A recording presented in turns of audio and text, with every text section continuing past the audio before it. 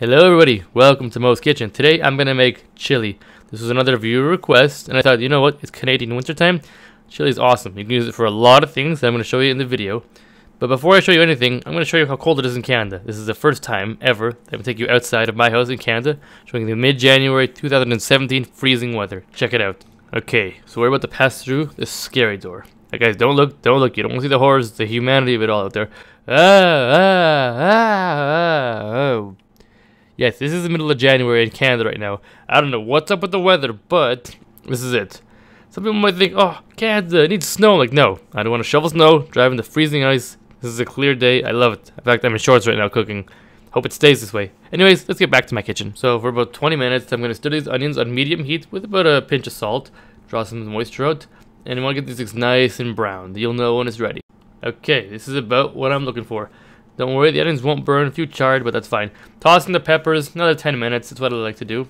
Now, over time, these are basically going to disappear in the product, so near the end of the cooking, I'm going to throw in some raw onions and some raw peppers, just get that crunch.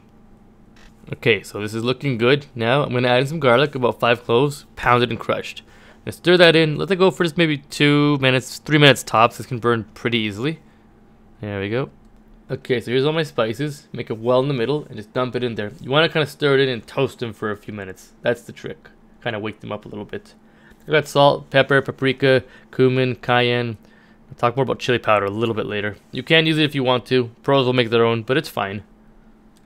Okay, well I'm not a giant fan of ground beef. In recipes like this it's fine because we're cooking it for several hours, so it will work.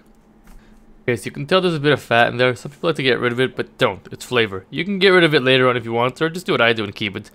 I tried to make kind of a well in the center, but this pot's a bit small. Putting in a few tablespoons of tomato paste, this will help thicken it up and give some extra tomato flavor. Then I want you to fry it off for a few minutes and then stir it in.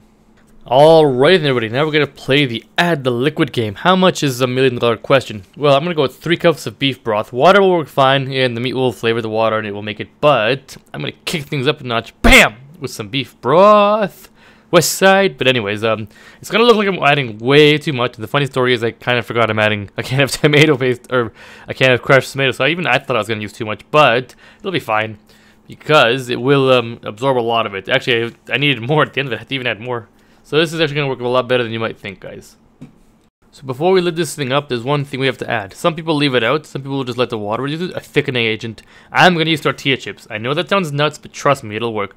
Some people use masa, which is kind of a Spanish flour. Other people use regular flour or cornstarch. Do not make a roux, okay? We're not doing that. But um, I have these on hand, and I've always wanted to try, so what the heck, I'm going to crush them up. Besides, I figured with this chili and cheese, you can make nachos, so heck, why not? Crush them up, give them a stir, and lid up for... Well, you can go for an hour if you want to, but I'm going to go for at least two. So just to give all you naysayers, uh, oh, I'm putting too much uh, water in here. This is after only an hour of cooking. Look how thick that's gotten. I'm just getting near with my spoon now. See that? That's absorbed a lot of it. So I'm actually going to be transferring this to a bigger pan very shortly, which I was not happy about. I had to clean two pans, but no big. Alright, optional stuff as well, but I'm adding two cans of beans. These are red kidney and some black beans. Whatever it is you got, just go for it and use it. Okay, now for the hardest part of my entire video, the presentation, making it look super good, super clean, and super crisp for the video. A little bit of sour cream would work, but meh, I'm gonna go with some cheese and some more cheese because I love it. After that, we have step two. We're gonna have some crackers all cracked up because you know we all love to have it with our chili.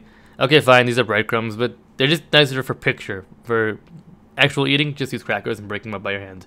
If You don't want to get crackers grind them into the processor. It takes too much time and work, and I don't want to do that. And a little extra cheese because I have some lying around that I'm going to use anyways.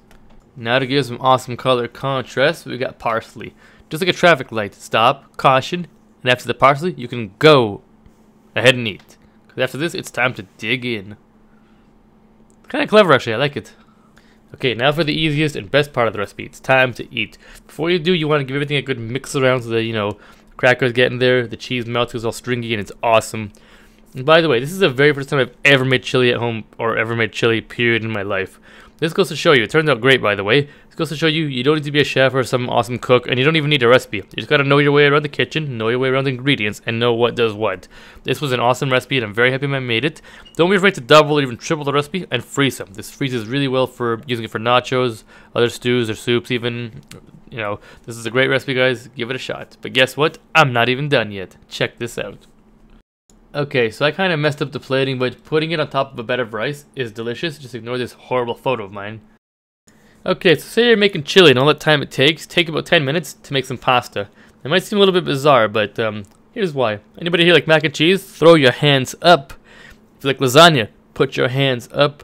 If you like anything with sauce and cheese in the oven roasted with breadcrumbs, also put your hands up. That's right. Check this out. So get some pasta. I like rotini for this. Get some of your chili and give it a good amount of cheese and breadcrumbs. 400 degree oven, about 10 minutes, broil it for two. You could stick it under the broiler from the start for about maybe two or three minutes, but um, I did it that way. Keep your eye on it though on broiler because it can burn very quick and very easy.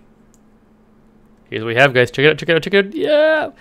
Careful, by the way, it's hot. I love this. This is delicious. This is definitely a great reason to make it. Hope you all give it a try. Thank you all for watching it. Click the like button below, and don't forget to subscribe and support my Patreon.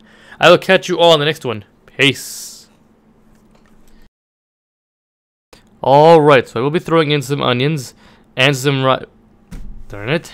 So these are going to disintegrate over time and be like nothing. So I'm going to throw in some raw garlic. It's not garlic, these are onions and peppers. Ugh. So these are basically going to disintegrate when I'm in the video. When... wow, when I'm in the video? It doesn't even make sense.